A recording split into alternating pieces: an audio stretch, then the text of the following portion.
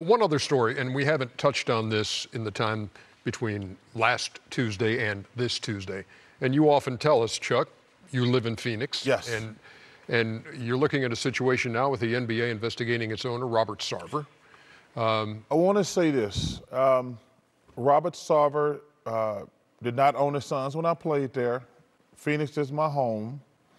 So I don't know all this stuff going on behind the scenes. I've only met Robert a few times. He's always treated me cordial. The NBA has to do a comprehensive re, uh, in, in investigation.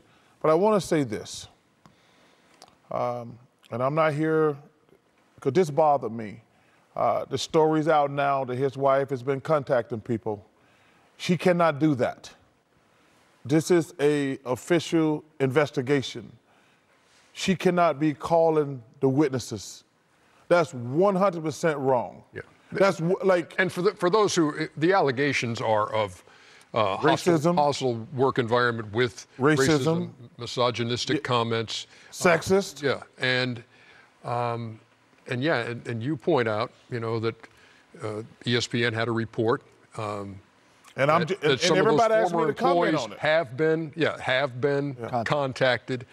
But by, she can't by that. his wife, and she says it was not to intimidate. Although those who are have been contacted have talked about the messages they were given, and they see and they say they feel Adam Silver. Adam Silver has to step in. Like I say, I don't know whatever happened with the Suns, but I do know is Adam Silver's got to step in and tell Robert Sarver, you or your wife cannot like that's uh, you know that's lawyer in one-on-one. You shouldn't be talking to people, the witnesses, in the middle of an investigation. Everybody knows that one. I mean, that's just a hundred. So Adam Silver got to say, hey, Robert, I think his wife is Penny. I don't know them well, but they can't be talking to witnesses. That's 100% wrong. Of course, when there's allegations of this magnitude, it has to be an investigation. Me personally, I played for Robert a year and a half. Never, never had a problem with him. Would never imagine any of this going on. But I'm sure people that's been working there longer than me have more and better stories. I was only there a year and a half. He was nice to me his family's nice to me. But when you have allegations of this magnitude, an investigation has to be done.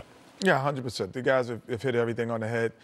Uh, and, and, we will see because, because it's so many things, it, it would be hard to cover anything up if it is or isn't true. It would be difficult to do that. You'd have it, it, the proof will definitely come out can, with can I so say many. one thing too. Sure. This is to anybody watching this damn show anybody watching this show, if somebody treats you bad at work, racially, sexist, whatever, homophobic, you got to say something that moment. You can't be saying, nah, I need my job. Nobody should work in a hostile environment.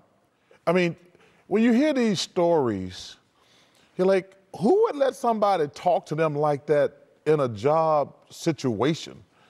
Like, I don't care how much money TNT or when I played in the NBA. If, if, listen, if I played for the Phoenix Suns and that dude said some of the stuff that's allegedly, I'd have punched him in the face right there on the spot. No amount of money in the world at any job you got should you be susceptible to a hostile working environment. I don't care if you're a maid, I don't care if you are somebody's housekeeper. I don't care where you work at in your life. If somebody's treating you bad, you are a human being, and you should defend yourself. Yeah. Meantime, in Portland, um, investigation conducted by the Blazers of uh, Neil Olshey and his uh, uh, conduct in what is also described as a toxic work environment. So uh, we'll stay on top of those stories as they continue uh, to develop. When we come back, more highlights from Tuesday night. Keep it right here.